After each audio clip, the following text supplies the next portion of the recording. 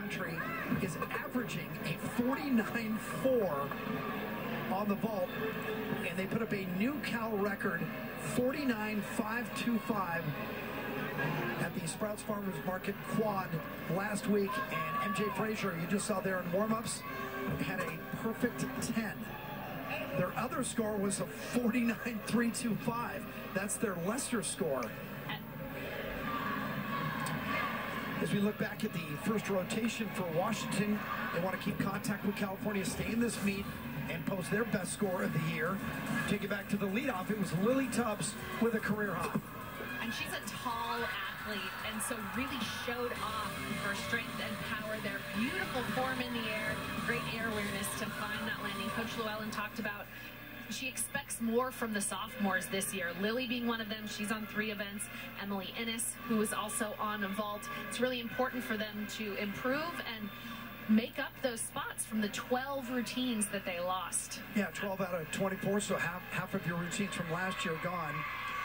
And I would think that Jen Llewellyn would have to tell the sophomores, you're upperclassmen now because we have five freshmen. So we have to include you with those juniors and those seniors. They only have a, a handful of seniors anyway. Right. And so a lot of pressure.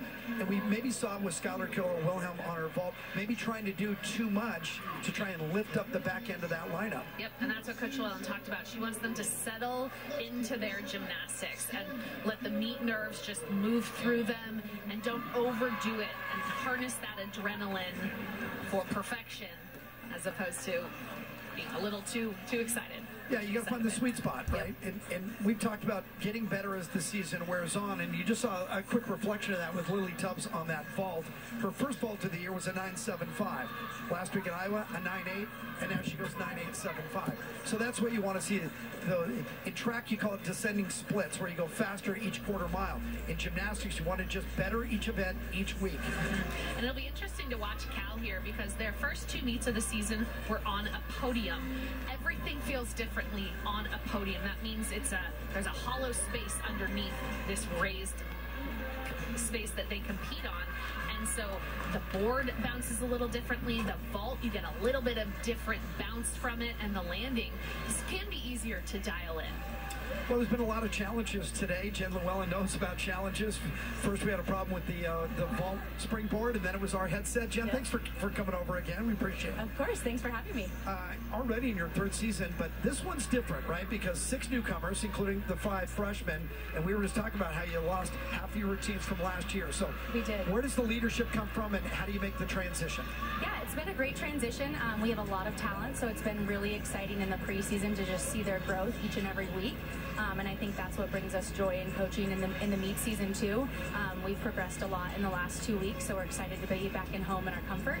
Um, but we have a great um, leadership core in our juniors and seniors, and we quite honestly have a lot of leadership from our freshmen and sophomores. So we're really trying to dial in um, on each person's uh, leadership ability and trying to bring out the most that they can to give to the team.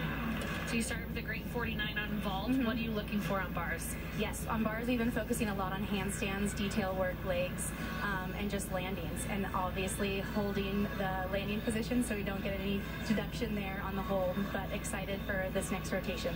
Jen, thanks for coming over. Appreciate your patience. Thank you. Go Dogs. Best of luck rest of the way. Jen Llewellyn now in her third season led UW to the regionals the last two seasons, and of course made her, made her name at Lindenwood, which is a Division two school. She won three national championships. So California begins on the vault, and we told you already, but let's underscore one more time. Best team in all of collegiate gymnastics on this event.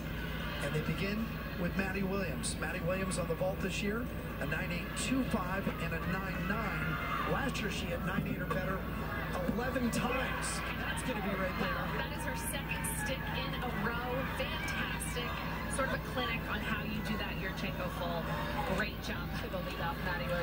just what you want from a leadoff.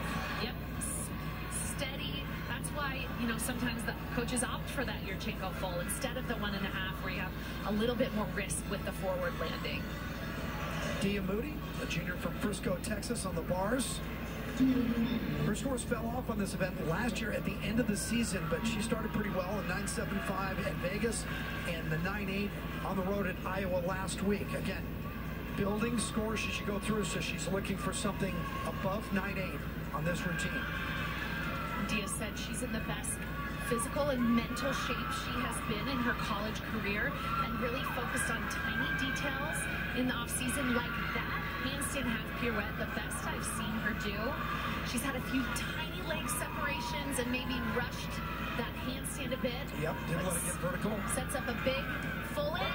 You go. You can see Cody Llewellyn had his hands in the air because he knew that was going to be a great landing. He, he reacted before she hit the landing mat. Here's this dismount. Check the height. Right there. See, the coach knew. Yep. Chest was a little bit forward, but great air awareness. I was always skeptical